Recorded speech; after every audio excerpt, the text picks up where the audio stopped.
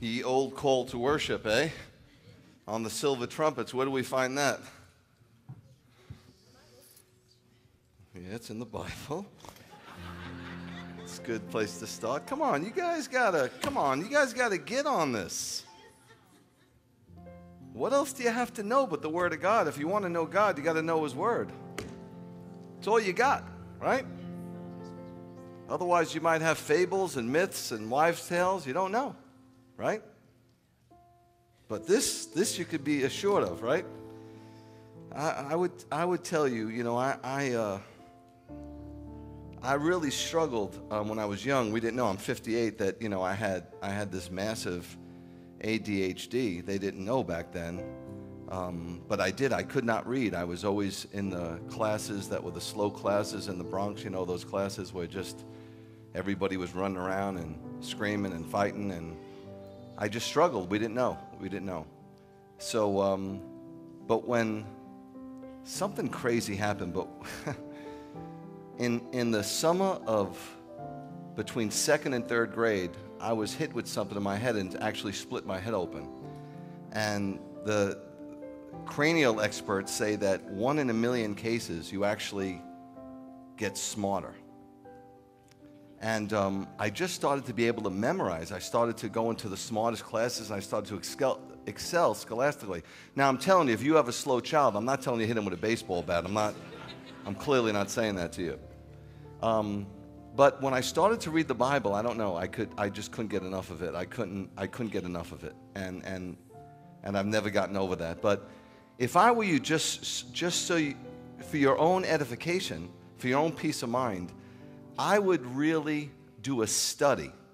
If you want to do the greatest study, do a study on the, on the authenticity of the scripture. Now, every, every piece of literature that you read, whether it, you read something, a, a medical document in the New England Journal of Medicine, a textbook at school, a magazine article, it has to have some literary authenticity.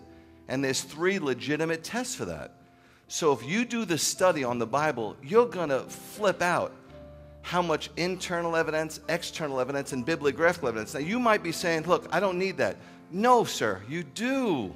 Listen to me. You can't tell people it's in the Bible, so that settles it, because then they'll say it's in the New World Translation, that settles it. It's in the Bhagavad Gita, that settles it. It's in the Book of Mormon, that settles it. It's in the Quran, that settles it. It's in the Talmud, that settles it. You follow? So if everybody feels that way, how are you going to have a discussion? You owe it to yourself and you owe it to God to see how incredibly authentic the Word of God is. In fact, there's more literary proof for the Word of God than all the volumes of books put together. That's crazy.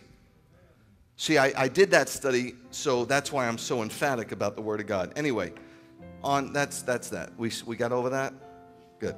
Um, who thinks this is going to be a great day? I, I, just, I just want to, I have a little inside track. This is going to be a great day. This is really going to be a great day on, on a lot of fronts. The Lord has something very special uh, to share with us, and I'm crazy excited about it.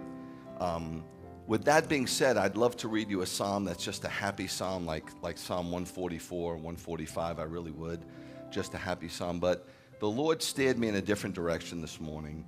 And, and I think it might be for somebody here it might be for somebody out there. You know, we have way more people out there than in here, thousands and thousands that are tuning in. I want to say Shabbat Shalom. And if it's, if it's for you, if it's for you, do me a favor, just so I know I'm hearing.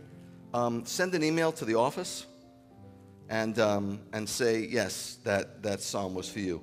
This psalm is actually, I don't know if I'd, I'd call it a psalm, it's more like a prayer and I'm going to share, it's only 11 verse, 12 verses, but I'm going to share one verse with you that I want to highlight that this is the greatest lever you have to move the hand of God when you pray.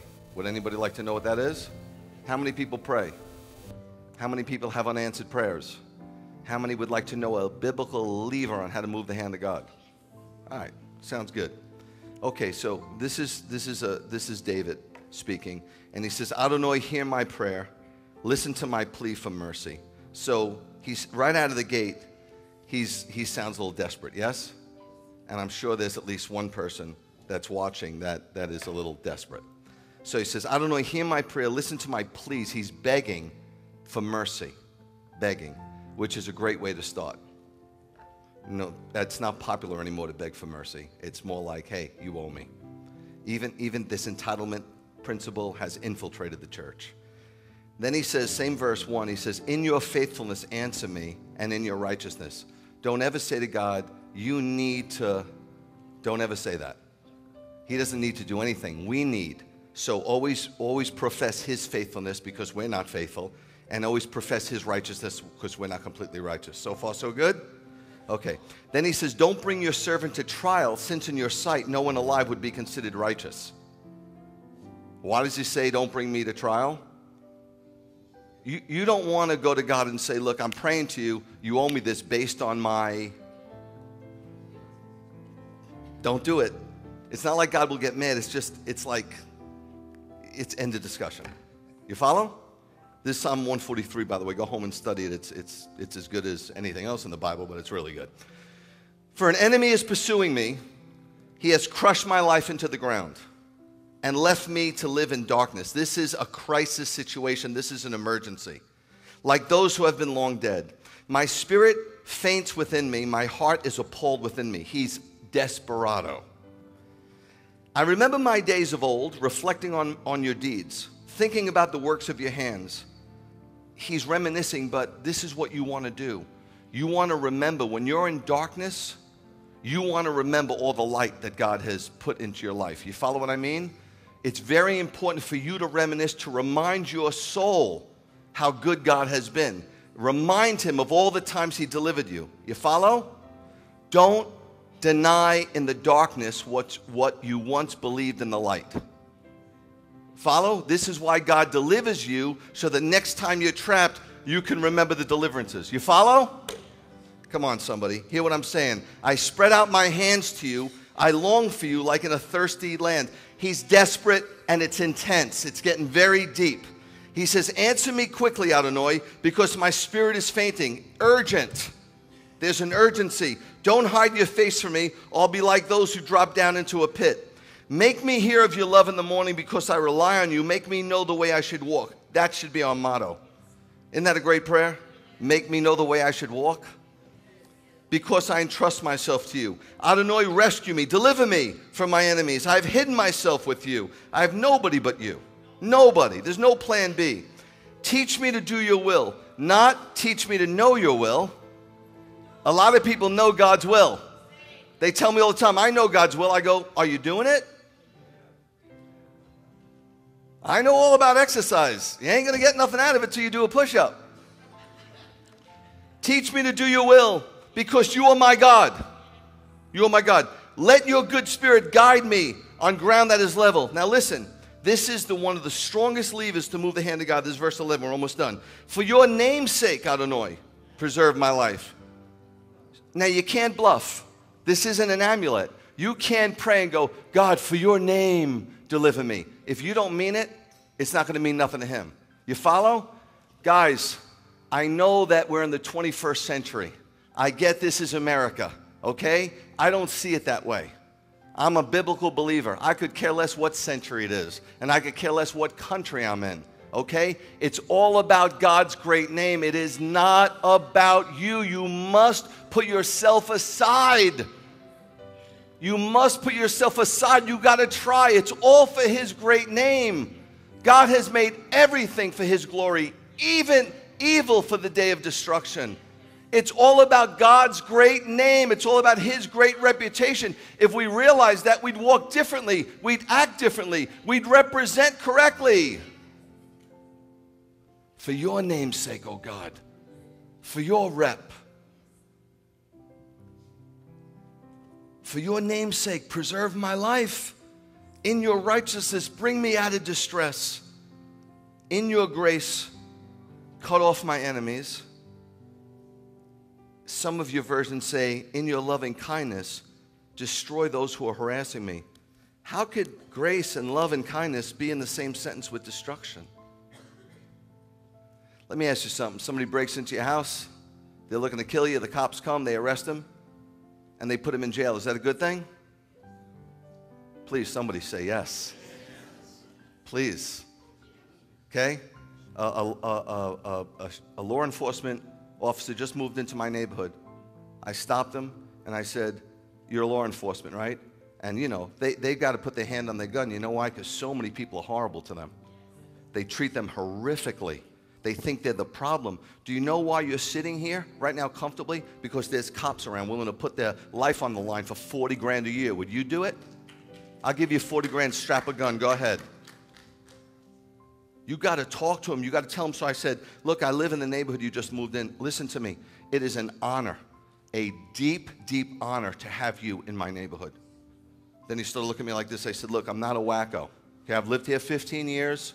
Okay, don't talk to too many people in, in Macon because they'll tell you I'm whack, but I'm not. I said, I teach my kids how important your job is. If they see you, they're going to go up to you and say thank you. When my kids were little, and if a cop was in a restaurant, they'd walk up and say thank you. I said, You don't get paid enough. Anything I could do for you. You follow?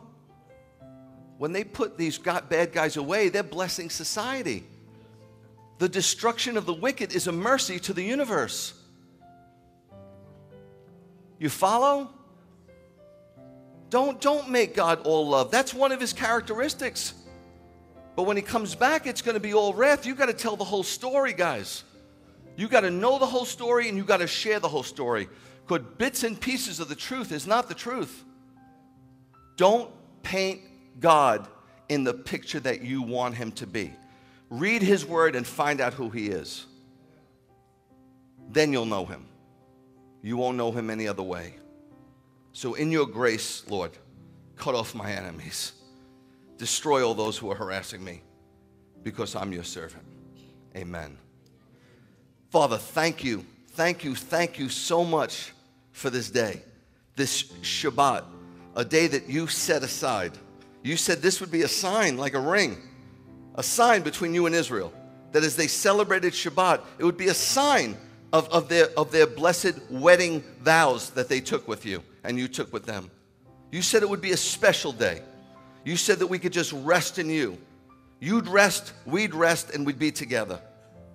Father, on this day we declare that you created the earth. We declare that you defeated sin, death, and the grave. We declare that you resurrected. We declare that we will resurrect. So, so resurrect us today, Father, spiritually speaking. People are tired, Lord. They're, they're haggard. They're spending way too much time on things that don't count. They're internet crazed, social media crazed. They can't get enough of it. They'll spend three, four hours, Father, on the internet and they won't give you five minutes to read a verse. And they wonder, why am I so tired? Come on, man. Give God his due. Father, what a, what a pleasure it is. I don't know how I got here. Not in. I don't know how I got to be in the kingdom. I don't know how I got there. I don't know how I got here, but man, I'm so glad I'm here. It's phenomenal. Crazy. I used to be afraid of you. Now I call you Abba Daddy. This is crazy. Let my people get it, Father. Let them get it today. In Yeshua's name, amen.